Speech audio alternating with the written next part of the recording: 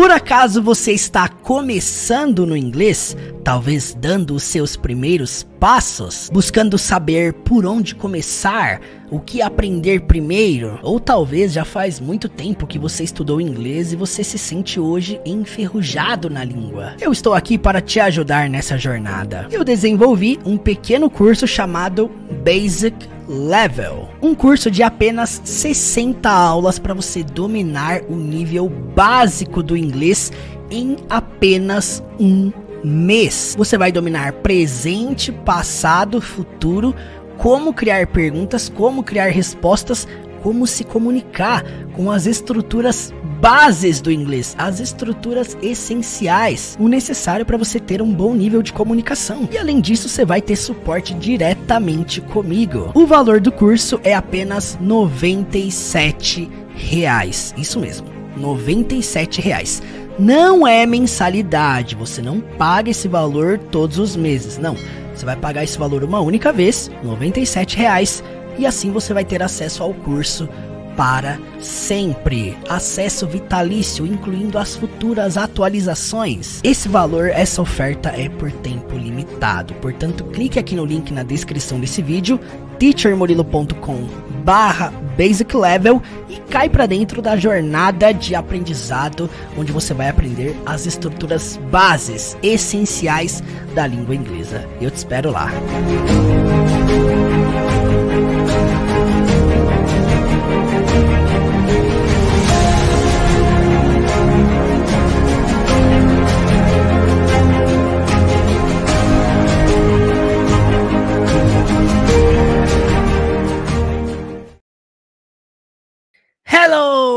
friends! Sejam muito bem-vindos, sejam muito bem-vindas a mais uma aula com filmes.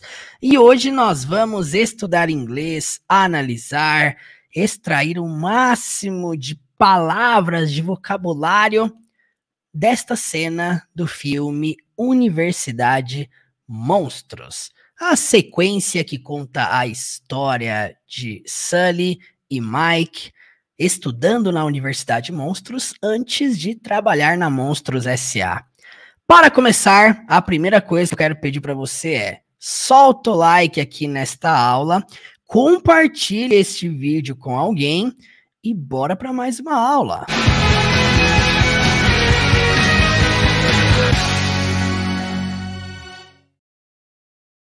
Nesta cena que nós vamos analisar, Sully e Mike acabaram de ser expulsos da faculdade. Eles acabaram de literalmente passar pela porta ali de saída da Universidade Monstros. E aí, eles têm uma conversa ali que supostamente seria uma conversa de despedida, mas é claro, né? Ainda teria muita coisa para viver pela frente. Mas nós vamos analisar essa cena que não é tão longa, é uma cena bem curta. Nós vamos começar assistindo com legendas ou melhor, vamos começar assistindo sem legendas, né? Vamos começar assistindo sem legendas e aí depois a gente vai assistir com legendas em inglês. Vamos lá. Gostaria que você comentasse aí de 0 a 10 o quanto que você consegue entender dessa cena sem legendas. Vamos lá. So, what now? You know, for the first time in my life, I don't really have a plan. You're the great Mike Wazowski. He'll come up with something. Well, I think it's time I leave the greatness to other monsters. I'm okay just being okay.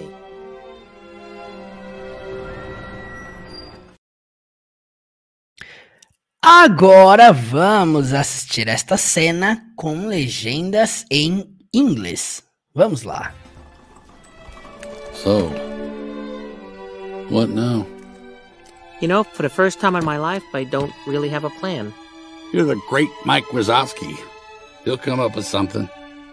Well, I think it's time I leave the greatness to other monsters. I'm okay just being okay.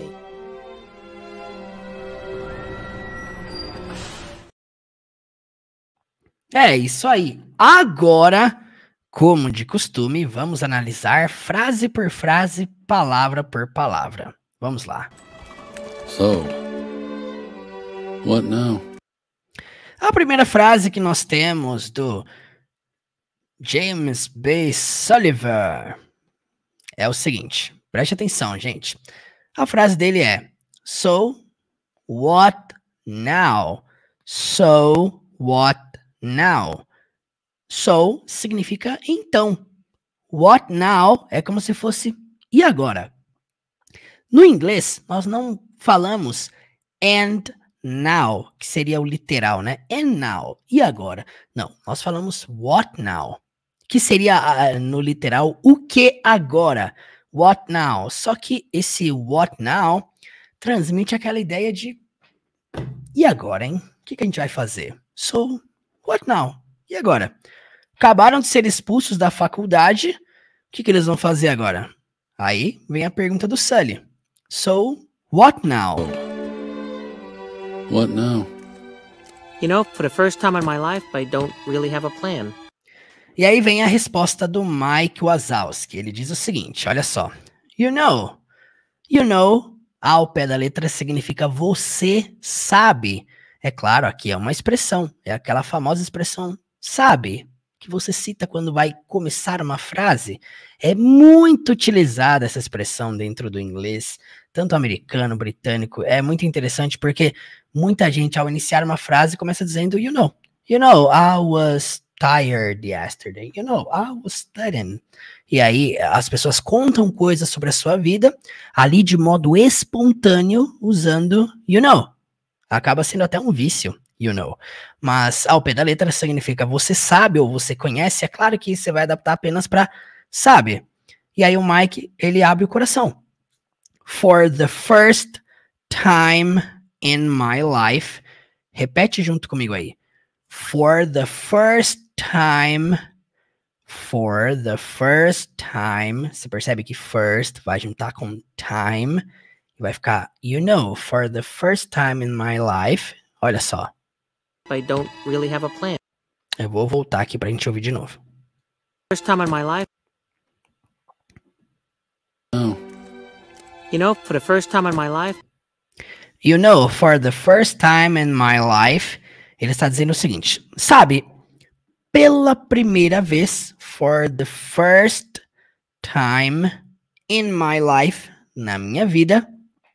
E depois ele diz: I don't really have a plan. I don't really have a plan. Pay attention. Really have a plan. I don't really have a plan. Significa eu não, I don't. Só que aí tem o really ali em seguida, que significa realmente. Então você vai traduzir para eu realmente não have a plan tenho um plano. Então a frase dele simplesmente é: Sabe, pela primeira vez na minha vida, eu realmente não tenho um plano. I don't really have a plan.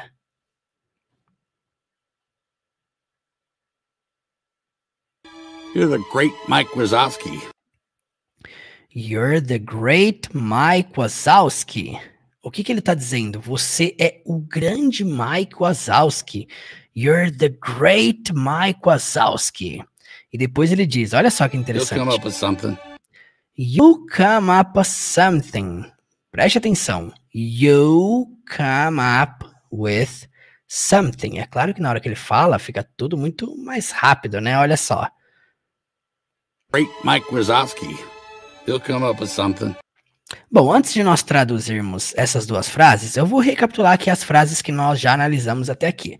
Preste atenção porque é muito importante que você não só preze pela tradução das palavras, mas principalmente também pelos sons de cada uma. Olha só. So, what now? So, what now? Então, e agora? You know, for the first time in my life. You know, for the first time in my life. Sabe, pela primeira vez na minha vida. I don't really have a plan. I don't really have a plan. Eu realmente não tenho um plano. You're the great Mike Wazowski. You're the great Mike Wazowski. Esse you're é uma contração de you are. Você é. The great, o grande. Mike Wazowski é o nome dele, né? Ou seja, você é o grande Mike Wazowski. E depois. He'll come up with something. Temos essa frase, né? Com um phrasal verb bem diferente que é o come up with. Quando você junta essas três palavras come up with, você tem o phrasal verb inventar, propor alguma coisa nova, sugerir algo novo, aparecer com alguma coisa nova. É isso que ele está dizendo. Só que aqui no começo você tem ali you com LL, indicando que é you will. Isso aqui é uma abreviação de you will, indicando o futuro. Então, automaticamente, you'll come up with significa você vai inventar. E depois, something significa algo ou alguma coisa. Ou seja, esse trecho completo, You're the great Mike Wazowski. You'll come up with something. Você é o grande Mike Wazowski. Você vai inventar alguma coisa. Preste atenção, porque na hora que ele fala You'll come up with something, esse with quase não aparece. Ele literalmente fala, you come up with something. Olha só, you come up with something. Preste atenção no jeito que ele fala, gente. Realmente o with, ele não aparece na fala dele. You're the great Mike Wazowski. He'll come up with something. Ó, you come up with something. You come up with something. Então fica só o with something. You come up with something. Bem diferente, né? Mas faz parte. A importância de conhecermos este phrasal verb é isso. Quando você entende que come up with é o ato de inventar, propor, sugerir alguma coisa nova, aqui fica muito mais claro de você entender que realmente ele está dizendo isso. E aí vamos para a sequência, olha só. I think it's time I leave the greatness to other monsters. E aí vem essa frase do Mike Wazowski, olha só.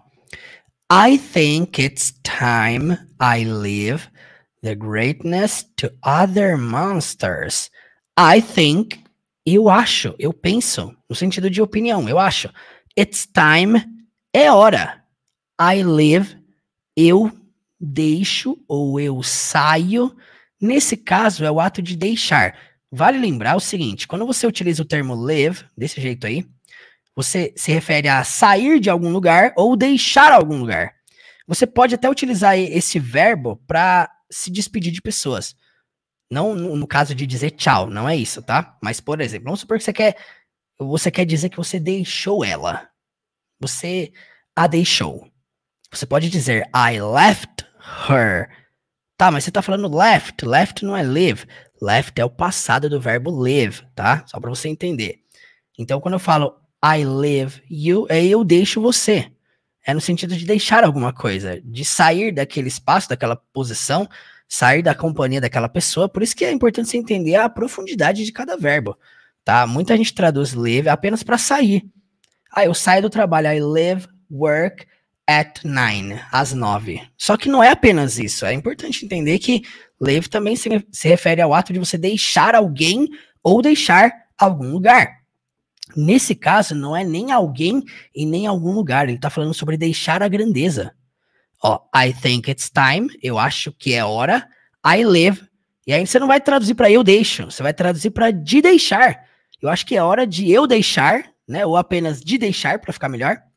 The greatness, a grandeza, to other monsters, para outros monstros. Eu acho muito interessante porque o termo other significa outro, mas também significa outros. E não tem S, você não fala others monsters, você fala só other monsters. Então, essa frase completa: I think it's time I leave the greatness to other monsters. Vamos escutar novamente. I think it's time I leave the greatness to other monsters. I think it's time I leave the greatness to other monsters. I think it's time I leave the greatness to other monsters. I'm okay just being okay. Eu acho muito interessante essa expressão dele, porque ele diz: I'm okay just being okay. Se você traduzir isso aqui ao pé da letra, vai ficar algo do tipo: eu tô ok, só estando ok. ao pé da letra seria isso. Mas aí eu te pergunto: como é que você traduz ok para o português. Muita gente pensa que o ok é apenas uma confirmação positiva. Tipo assim, alguém te pede alguma coisa e você fala ok, confirmado. O ok, entenda uma coisa: ok dentro do inglês não é apenas uma confirmação positiva. Não é.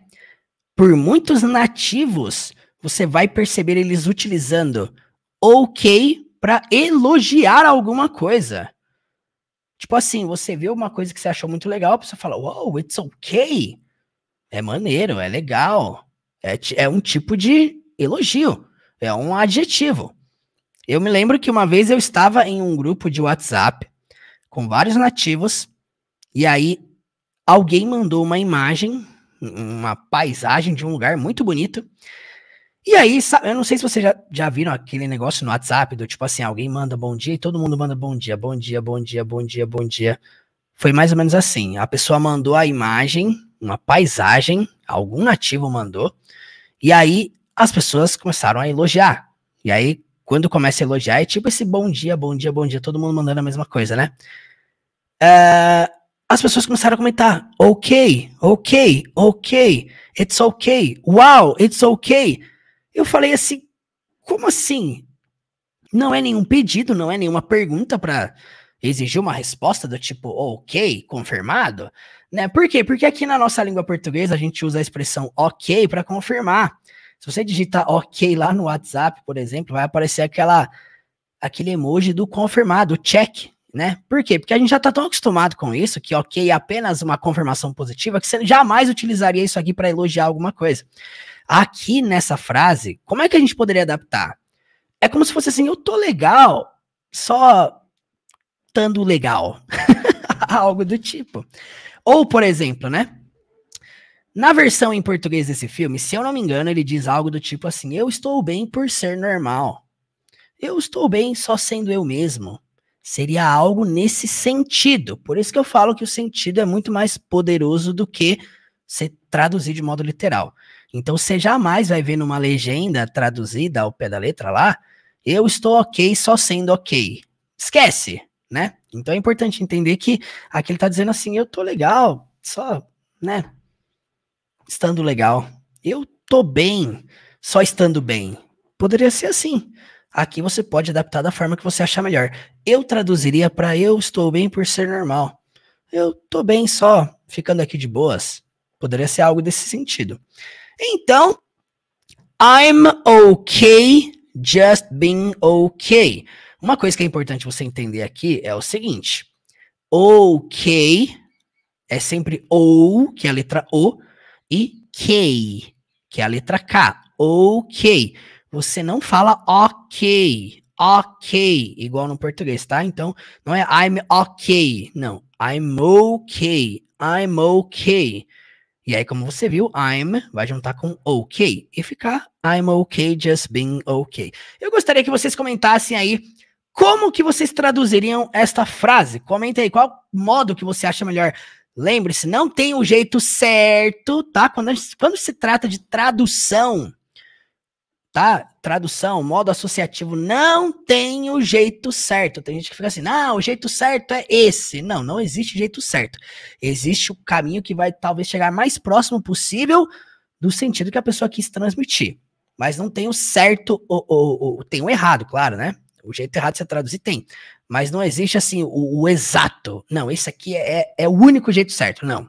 Você pode adaptar para vários caminhos que cheguem perto do sentido que ele quis transmitir. Que ele tá bem só ficando ali de boas, né? Sendo ele mesmo. É isso que ele tá transmitindo. Então aqui foi praticamente a última frase da cena, né?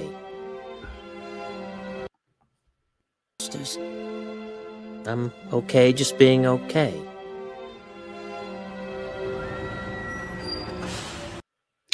É isso aí. Agora vamos recapitular aqui frase por frase rapidão e vamos assistir essa cena sem legendas para ver se agora deu para fixar tudo, né?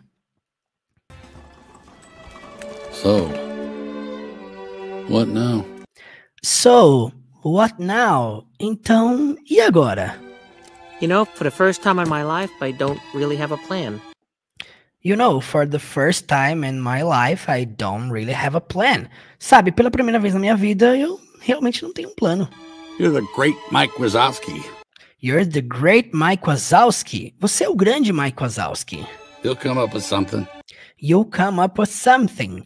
Você vai inventar alguma coisa. Well, I think it's time I leave the greatness to other monsters. Oh, I think it's time I leave the greatness to other monsters. Eu acho que é hora de deixar a grandeza para outros monstros. I'm okay just being okay. Eu tô bem sendo eu mesmo. E é isso aí, people! Agora pra gente fechar essa aula aqui, se você ainda não deixou o seu like, ainda não se inscreveu, não clicou no botão de ativar a notificação, a hora é agora. Vamos finalizar essa aula assistindo mais uma vez essa cena sem legendas. Confira se agora será um pouco mais fácil do que no início dessa aula. Vamos lá. So, what now? You know, for the first time in my life, I don't really have a plan. You're the great Mike Wazowski. He'll come up with something. Well, I think it's time I leave the greatness to other monsters. I'm okay just being okay.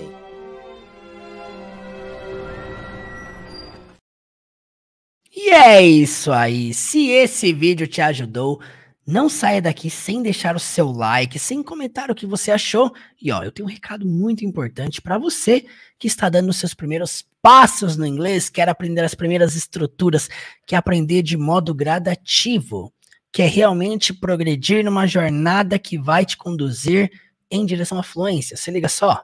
Por acaso você está começando no inglês, talvez dando os seus primeiros passos, buscando saber por onde começar, o que aprender primeiro, ou talvez já faz muito tempo que você estudou inglês e você se sente hoje enferrujado na língua. Eu estou aqui para te ajudar nessa jornada. Eu desenvolvi um pequeno curso chamado Basic Level, um curso de apenas 60 aulas para você dominar o nível básico do inglês em apenas um mês. Você vai dominar presente, passado, futuro, como criar perguntas, como criar respostas, como se comunicar com as estruturas bases do inglês, as estruturas essenciais, o necessário para você ter um bom nível de comunicação. E além disso, você vai ter suporte diretamente comigo. O valor do curso é apenas 97 reais. Isso mesmo, 97 reais.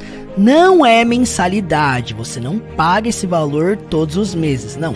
Você vai pagar esse valor uma única vez, 97 reais, e assim você vai ter acesso ao curso para sempre. Acesso vitalício, incluindo as futuras atualizações. Esse valor, essa oferta é por tempo limitado. Portanto, clique aqui no link na descrição desse vídeo, teachermurilo.com barra basic level e cai para dentro da jornada de aprendizado, onde você vai aprender as estruturas bases essenciais da língua inglesa. Eu te espero lá.